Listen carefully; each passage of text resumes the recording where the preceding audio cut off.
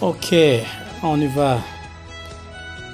Yari ku itariki makumyabiri n'icyenda z'ukwezi kwa gatandatu ibihumbi makumyabiri na gatatu. Ubwo yari aniveriseri ya madamu ngo tuba turasohokanye tujya muri resitora bita sakura ni iy'abayapani aho turicarana turi kurya. Hamwe n'umukobwa wacu ku ruhande. Byari ibihe byiza cyane twishimye. Aha ndamuhereza icyo kurya nawe amakabizu byari byiza cyane ubwo amayika keya arampanagura. Sete tre tre sho kujya hanze ugasohoka n'umugore wawe cyangwa se inshuti yawe ni byiza cyane. Bituma mwongera urukundo.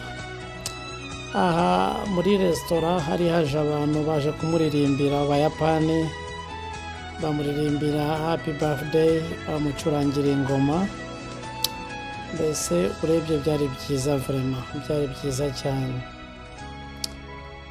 Arishima afata amashusho akoma mu mashyi. Barangije baritahira. Nuko batangira gutegura ameza. Gahoro gahoro. Ubwo yaragiye kudutekera.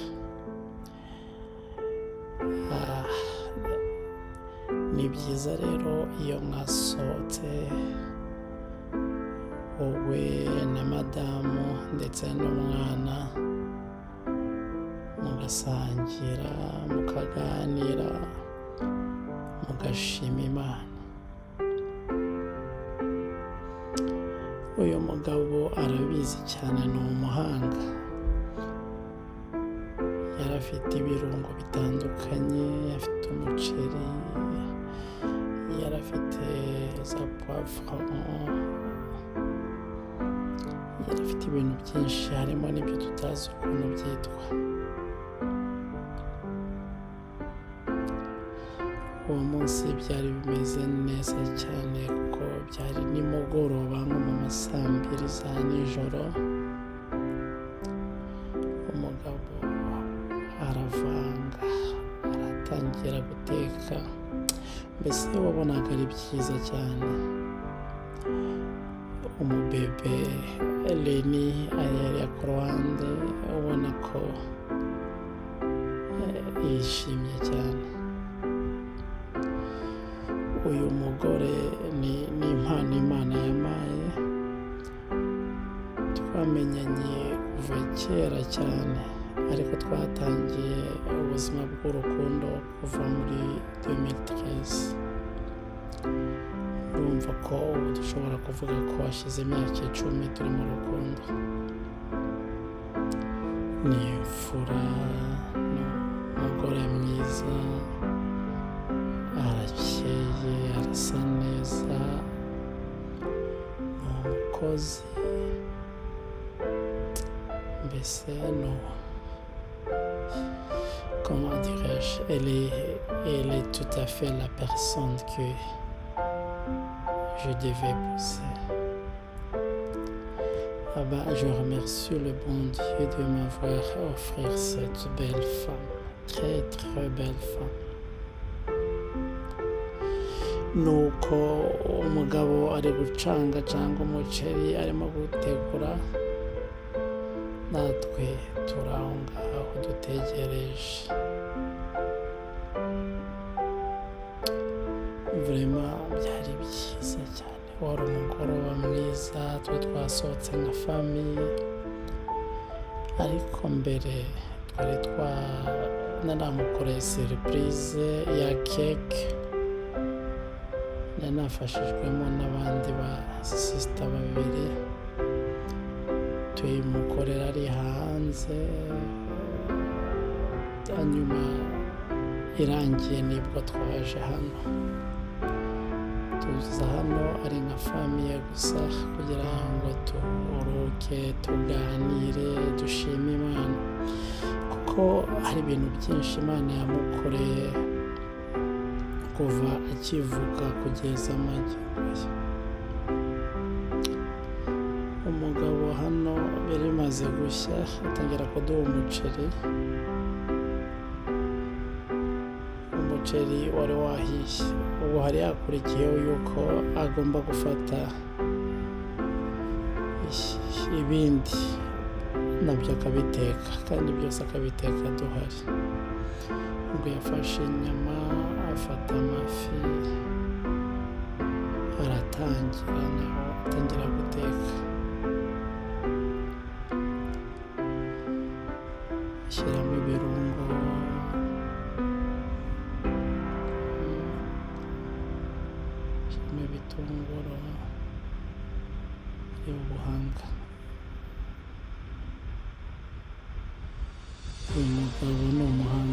Rwose akora ibintu ubona ko abizi hanyuma akagerageza gushyiramo n'akantu k'ubu aritisite gashimishije ku buryo urabona nk'umuriro hano yacanye ufite akora utuntu twiza kabisa ku buryo tureba uko tubona ko turashimishije. Nuko turakomeza turategereza ariko madamu ari no gufata amashusho. Nanjye ndi kuri kamera kugira ngo tubungabunge ibi bihe byiza. Ibi ni ibihe byiza ni ibihe biba bikenewe mu buzima bw'abantu. Igihe cyo gusangira igihe cyo gushimira imana byari byiza cyane.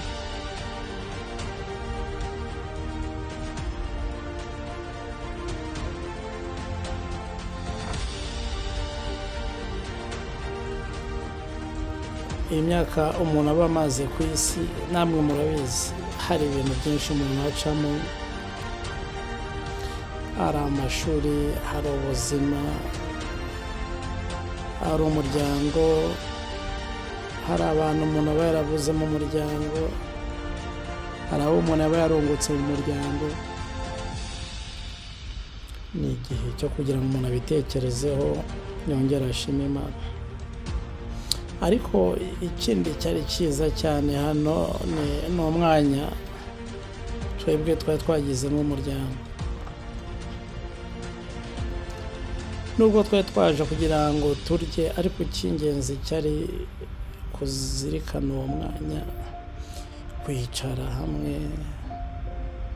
kumva ko kuba yaravutse byari agaciro kuri twese. Si umuryango gusa ahubwo natwe.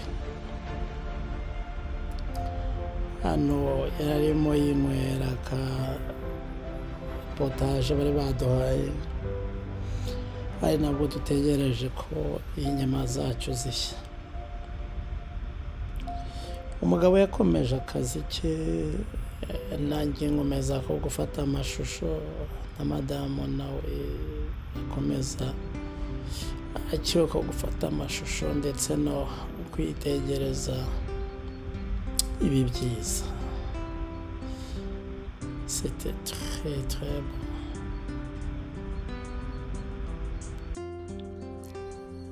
Nuko twarakomeje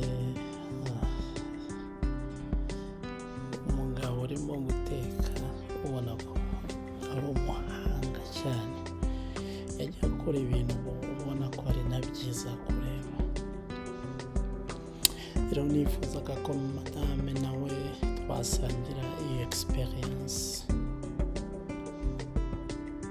kugira ngo dukomeze twubake urukundo rwacu.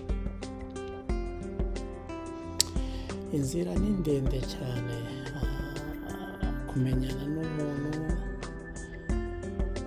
mukagera aho mukundana mukagera aho mutangira ubuzima hari byinshi abantu bacamo. Amakosa agenda abamo ariko icy'ingenzi ni ukumenya ko wakosheje ugasaba imbabazi ndetse n'uwo wakorewe amakosa nawe akemera gutanga izo mbabazi. Hanyuma uwakoshejeje nawe ukikosora kugira ngo mukomeze mwubake rwa rukundo. Urukundo ni ikintu cyiza imana yishimira ariko satani urukundo ruramubabaza. Rero muhora muri mu mitego muhora muri mu bibazo muhora muri ibintu bitandukanye hari ibintu bishobora gutuma mutishima. Ariko ikiruta cyose ni ukuganira kandi mukagira urukundo rw'ukuri. Rwa rundi ruturuka mu ndiba y'umutima.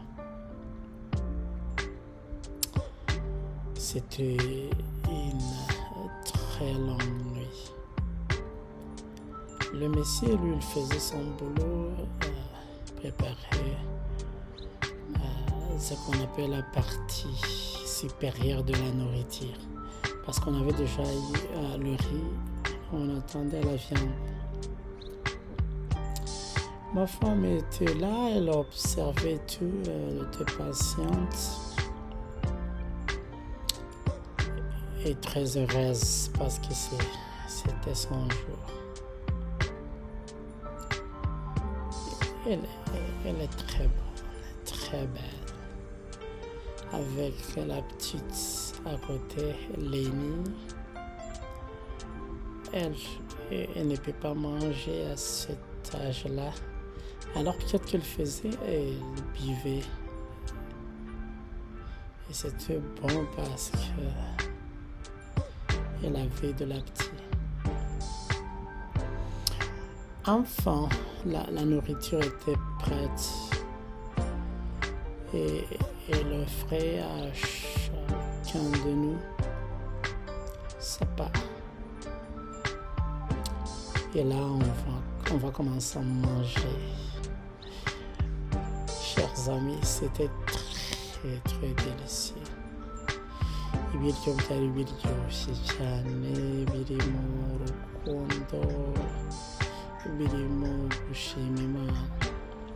Rero uyu mugabo yakurikijeho gukora isuku arahanagura ubona ko ibikoresho byose arabifite. Ukuntu iki gikoni cyabo cyubatse cyubatse ku buryo ibintu byose bikorwa aho ngaho kandi bikarangira umuntu amaze no gukora isuku.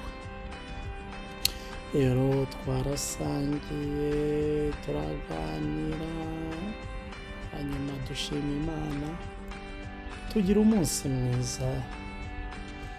Nuko turishima. Hanyuma umukobwa wacu nawe murabona ko arasa neza nyina yari yamuteguye rero byari byiza.